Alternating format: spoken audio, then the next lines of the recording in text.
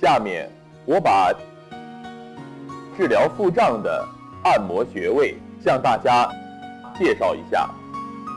第一是心腧穴，心腧穴的位置是在第五胸椎棘突下旁开一点五寸，这个是大椎穴。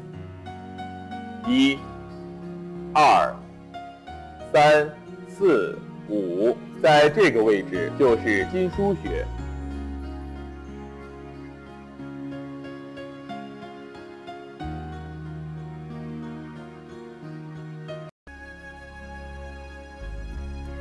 下面我详细的讲一下穴位的具体手法操作。